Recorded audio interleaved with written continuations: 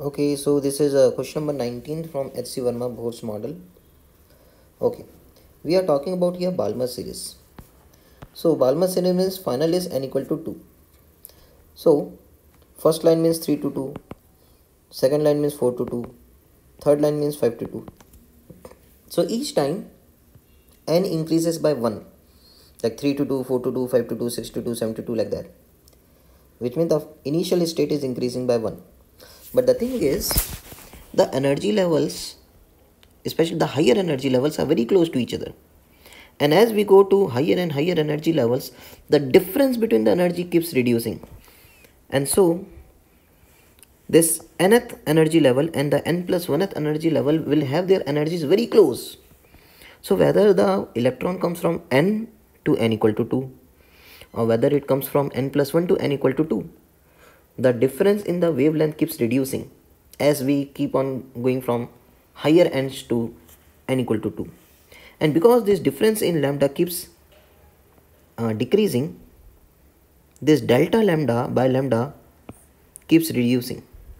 Because uh, this lambda is given by this formula. And whether you substitute here n or you substitute here n plus 1 makes little difference only. Okay. So as we keep on increasing n the difference in the lambda that we observe when the electron comes from n to 2 or n plus 1 to 2 the difference in the lambda between these two transitions keeps reducing.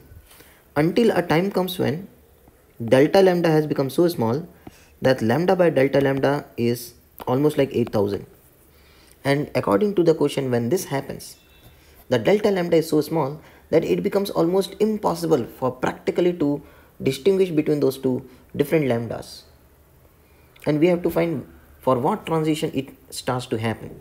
The that the lambdas become too close for the consecutive transitions like n to 2 or n plus 1 to 2 the difference in the lambdas are so small that we are not able to figure out that there are two different lines.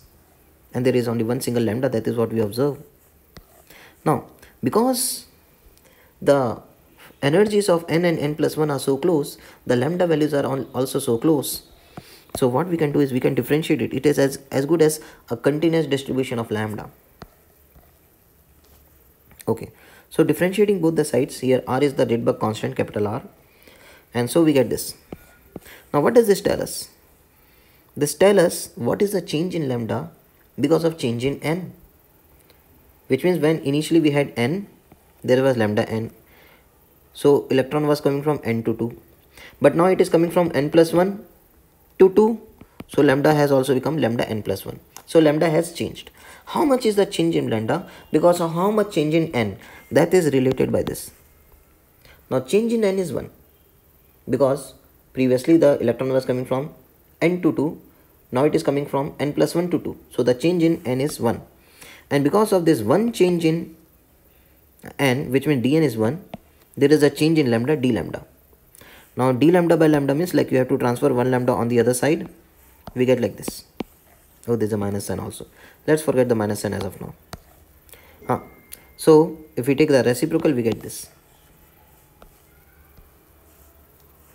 And uh, what is this 1 by lambda? You can see here that there is a 1 by lambda here.